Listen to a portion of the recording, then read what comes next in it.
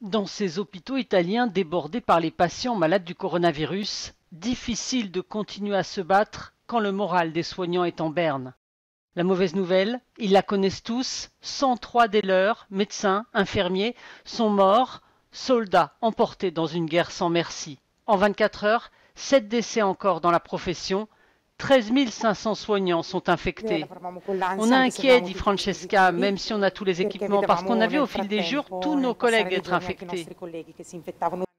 Francesca souffre de ne pas pouvoir entrer en communication avec des patients sous sédatifs et inconscients qui ne sauront jamais qui est resté à leur chevet pour leur sauver la vie.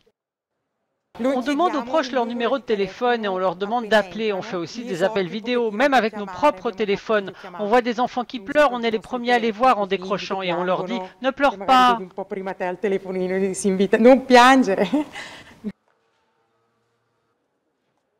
Dans le principal hôpital de Bergame, la ville martyre durement meurtrie par le virus, la mort est partout. Le Covid-19 aurait emporté non pas 2000 mais 4500 personnes dans la province, selon les dernières estimations. On ne s'habitue jamais à la mort, dit Madalena, parce qu'on fait tout pour sauver des personnes malades. Finalement, si on est croyant, on sait qu'il y a quelqu'un au-dessus de nous qui a décidé d'un destin différent pour cette personne. L'Italie affiche officiellement le bilan le plus lourd dans le monde avec plus de 18 000 morts, mais les décès en maison de retraite ne sont pas tous recensés.